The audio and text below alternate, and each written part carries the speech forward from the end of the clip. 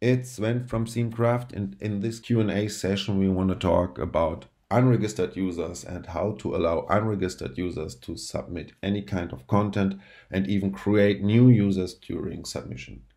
The only need, the only form field we need to allow a user to get created during his first post submission is the user email address so that we can trigger the activation process. So let's go into everything in detail. I'm here in the simple post form. This is the form builder. If you look under permissions, at first we have an option public submittable.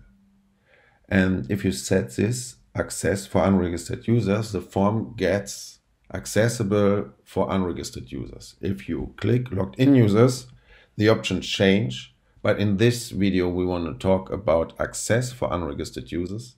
And it's possible by just checking this option. And now if you put this form shortcode into any page, users, unregistered users can use this form.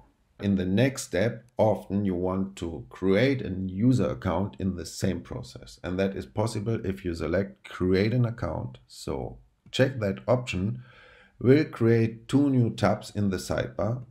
You see them here. Do it again. And in this tab, you can define everything what is needed to have the complete registration process done in the same moment as the post is processed and created. So let's see into that options in detail quickly.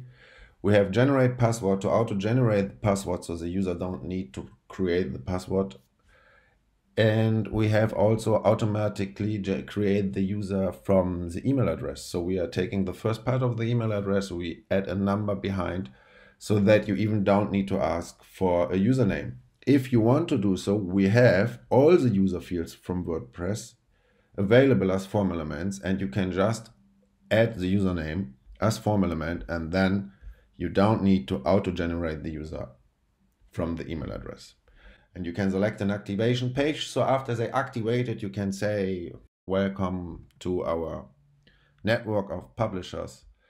This is the activation message subject and text, and you can modify it to your needs and also use shortcodes um, text to define the style and where you want to display links, relevant links for the activation.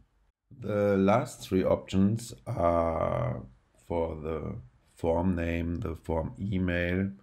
So you can define um, the mail header with a from name and an email.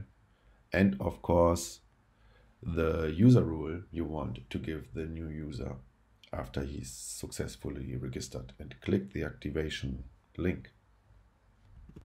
I hope this video helps you to understand how to allow unregistered users to submit any kind of content and even register them during the process of the first submission. If they're already registered and they are coming to that form, you can also enable a login form above or under the form. This will enable your users to log in if they're already registered. I hope that video helps you. If you have any question, let us know. We like to create more videos. Thanks for watching.